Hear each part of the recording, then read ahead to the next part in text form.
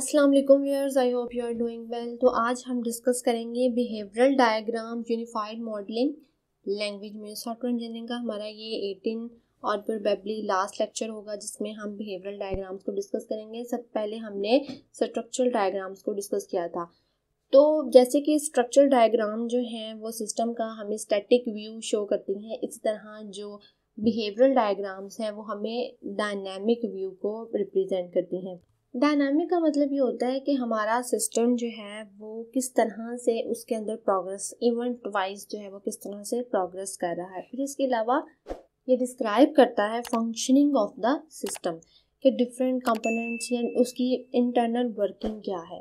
फिर इसमें हम जो डिस्कस करेंगे बिहेवियरल डायग्राम्स में, वो यूज़ केस डायग्राम है एक्टिविटी डायग्राम है एंड सीक्वेंस डायग्राम है, और भी बिहेवियरल डायग्राम्स हैं बट ये तीन मोस्ट इंपॉर्टेंट बिहेवियर डायग्राम्स हैं।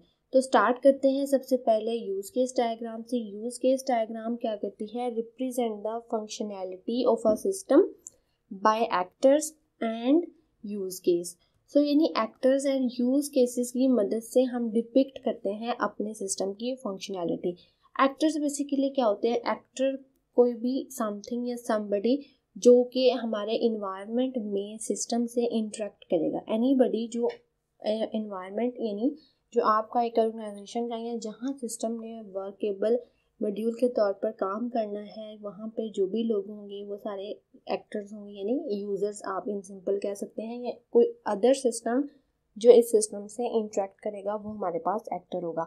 Use cases mean intended functionality use case मज़ीद जब हम डायग्राम बनाएँगे तो भी वाजह हो जाएगा। बेसिकली जो यूज़ केसेस होंगे वो हमारी जो सिस्टम की एक्सपेक्टेड फंक्शनैलिटी है ना, उसको शो करेंगे। इसके अलावा यूज़ केस डायग्राम का ये भी पर्पस है कि ये इनकेप्सुलेट कर लेती है तमाम फंक्शनल रिक्वायरमेंट्स के सिस्टम को और उसका एसोसिएशन विद एक्टर्स यानी यूज़ केसेस बेसिकली हमारे पास फंक्शनल रिक्वायरमेंट को रिप्रेजेंट करेंगे और एक्टर्स जो है वो जो लोग या जो भी चीज़ उन उन फंक्शनैलिटी के साथ इंट्रैक्ट करेगी, यानी इन्वायरमेंट हमारे पास। तो उनका लिंक आपस में हमें ये डायग्राम बताती है और basically design a system from end user perspective ये पर्पस है। तो हम देखते हैं नोटेशन यानी बेसिक एलिमेंट क्या है, अगर हमने यूज़ केस डायग्राम ड्रॉ करनी हो तो सबसे पहला नंबर वन पे जो है वो एक्टर और इसको हम इस ये एक्टर का सैम्बल है इससे रिप्रेजेंट करते हैं। फिर यूज़ केस जिसको हम ओवल शेप से जो है वो रिप्रेजेंट करेंगे और इसके अंदर जो है वो हम यूज़ केस का नेम यानी इसको हम स्टीरो टाइप कहते हैं, वो करेंगे। कम्युनिकेशन लिंक को हम सिंपली एक लाइन से एंड अब मोस्ट इंपॉर्टेंट थिंग इसमें रिलेशनशिप होता है बिटवीन यूज़ केसेस एक्सटेंड्स का हो सकता है इंक्लूड का हो सकता है और जनरलाइजेशन का हो सकता है। एक्सटेंड को डिस्कस करते हैं, जो एक्सटेंड का रिलेशनशिप होगा ना बेसिकली ये क्या करेगा? Extend the behaviour of base use case for example आपके पास एक बेस यूज़ केस है लाइक like लॉगिन आपके पास बेस केस है और उसको जो है वो एक्सटेंड हम कर रहे हैं डॉटेड लाइन से होगा, ठीक है? यूँ डॉटेड लाइन से और यहाँ पे हम एक्सटेंड रिप्रेजेंट करेंगे और देन इनवैलिड पासवर्ड सो एक आपके पास यूज़ केस इनवैलिड पासवर्ड है, जो कि सब यूज़ केस है और आपके पास जो मेन या बेस यूज़ केस है, वो आपके पास क्या है? लॉगिन तो हम उसको एक्सटेंड करेंगे इस तरह से पॉइंटेड एरो के साथ. इंक्लूड का जो रिलेशनशिप होता है आ use case using the functionality of other use case यानी एक यूज़ केस दूसरे यूज़ केस की फंक्शनैलिटी को यूज़ करा। फॉर एग्जांपल अगर आपने एक यूज़ केस हमारे पास ऑर्डर प्लेस का है तो दूसरा हमारे पास लॉगिन का है तो इट मीन्स प्लेस ऑर्डर का जो यूज़ केस है, वो इंक्लूड कर रहा है। उसका रिलेशनशिप इंक्लूड है विद लॉगिन जनरलाइजेशन का सिंपली वही जो हम पहले भी डिस्कस कर रहे हैं, कर चुके हैं कि एक हमारे पास जनरल यूज़ केस होता है, फिर अगर उसके सब यूज़ केसेस होंगे तो उनके अंदर जनरलाइजेशन और स्पेशलाइजेशन यानी इनहेरिटेंस का जो है वो कॉन्सेप्ट होता है। इसके अलावा हमारे पास होती है सिस्टम की बाउंड्री होती है, जिसको, जिसमें हम तमाम यूज़ केसेस को पुट करके और फिर यानी बाउंड्री में हमारे पास तमाम यूज़ केसेस होते हैं और जो हमारे पास एक्सटर्नल होगी स्पेस उसमें हमारे पास एक्टर्स होते हैं और जिनका हम रिलेशनशिप यूज़ केस डायग्राम से शो करते हैं। तो अब एक एग्जांपल देखते हैं। Use case diagram of educational kids game है? उसकी डायग्राम है। आप देखिए, ये हमारे पास हैं एक्टर्स ये ये एडमिन एक एक्टर है और एक प्लेयर यानी जो गेम का प्लेयर करेगा वो और जो एक एडमिनिस्ट्रेटर जो है, यानी जो मैनेज कर रहा है सारी गेम को वो एक्टर है, ठीक है? तो वो आप देखिए मैं एक्सटर्नल इन्वायरमेंट में है। अब इंटरनल ये हमारे पास सिस्टम की बाउंड्री है जिसमें डिफरेंट यूज़ केसेस है। फॉर एग्जांपल जो प्लेयर है, सबसे पहले अगर वो लॉगिन करेगा, यानी गिट किट अगर लॉगिन करेगा प्ले करने के लिए तो अगर वो पहले से रजिस्टर नहीं है तो वो पहले रजिस्टर करेगा। यानी इंक्लूड इफ़ नॉट रजिस्टर तो लॉगिन एक यूज़ केस है रजिस्टर एक यूज़ केस है और इनके दरमियान जो रिलेशनशिप है वो है इंक्लूड का, ठीक है? फिर प्लेयर जो है वो चूज़ सब्जेक्ट एंड लेवल अपना जो है वो सब्जेक्ट चूज़ करेगा और लेवल और अपग्रेड कर सकता है अकाउंट जैसे अगर उसने अपग्रेड अकाउंट करना है तो वो उसको पेमेंट करनी पड़ेगी और पेमेंट का जो है वो लिंक किसके साथ है? एडमिनिस्ट्रेशन यानी एक अनदर एक्टर जो रजिस्टर और पेमेंट के जो फंक्शनैलिटी है, उसको कंट्रोल करेगा या उसका लिंक इसके साथ है।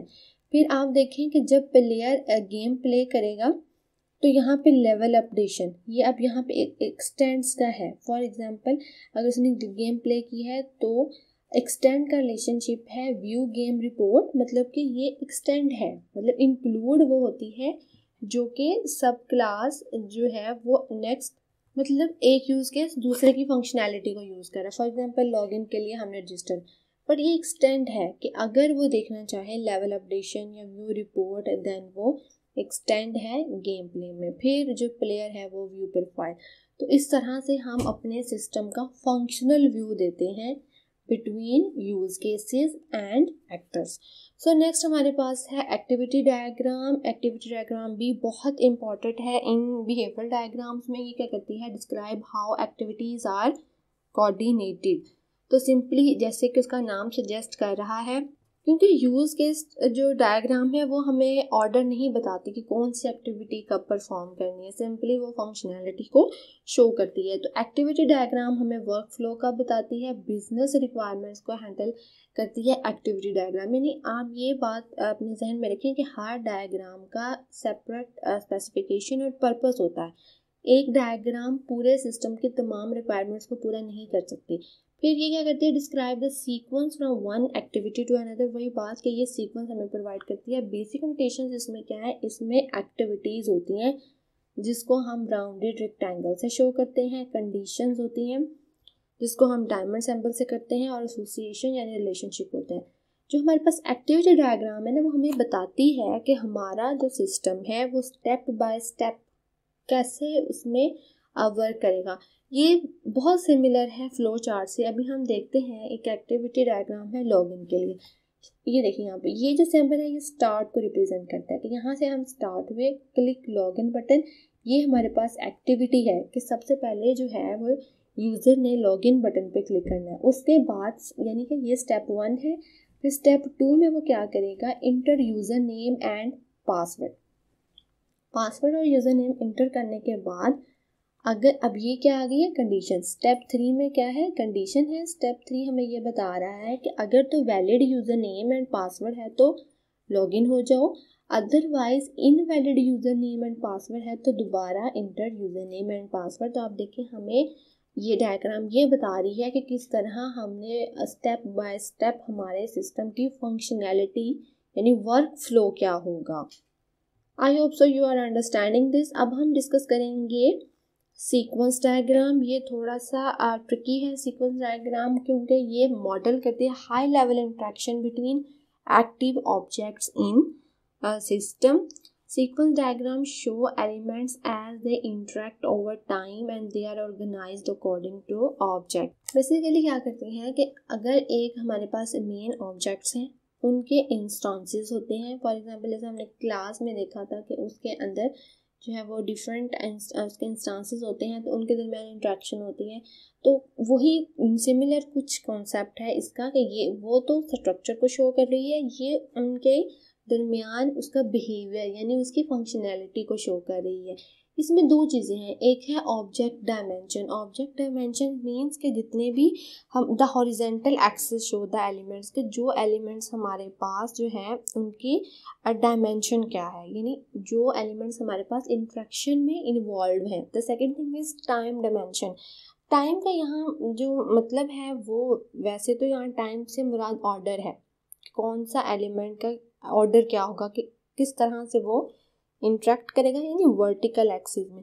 तो जब हम डायग्राम देखेंगे तो फिर और मज़ीद क्लियर हो जाएगा। एलिमेंट्स में इसमें भी एक्टर्स होते हैं और इसमें एक मज़ीद एडिशन होती है लाइफ लाइन लाइफ लाइन को हम इस तरह इस सैंपल से रिप्रेजेंट करते हैं। बेसिकली जो लाइफ लाइन और एक्टर में फ़र्क क्या होता है? एक्टर तो होता है एक्सटर्नल में और लाइफ लाइन जो होती है, वो एक इंडिविजुअल पार्टिसिपेंट को कर रही है।